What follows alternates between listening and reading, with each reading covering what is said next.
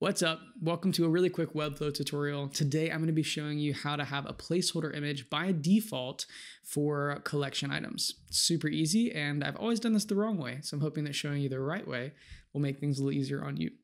So here we have a staff page and we've got our items built out here. So we've got an image, name, role, and an email address. So the way that I would normally do this is I would go in, because this is a part of a collection here. So I would go into each item and using the settings, I would link in the headshot. I link in the name, link in the role, job title, and then link in the email as well.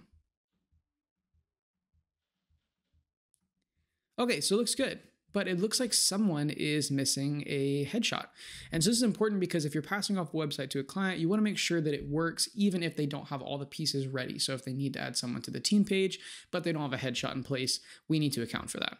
So the way that I would have done this is in my in my item over here on the left in the navigator, I would have replicated or duplicated this image, and then I would have done some conditional visibility. So if headshot is set, we're going to show the one that has the picture. And then the other one would be if headshot is not set.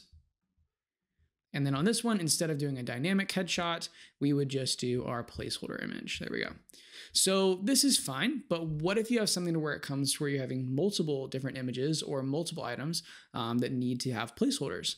Well, there's actually just a much easier way to do this in general. So what I'm gonna do is I'm actually gonna delete this whole staff item um, and within each of the collection items, I've created this as a component.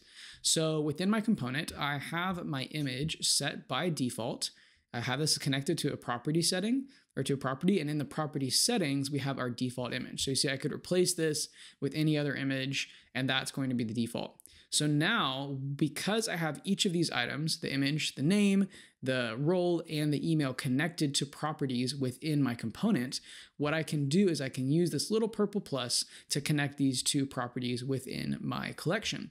So I'm gonna go ahead and do that. I'm gonna add headshot, name, job title, we will do the email link and the email.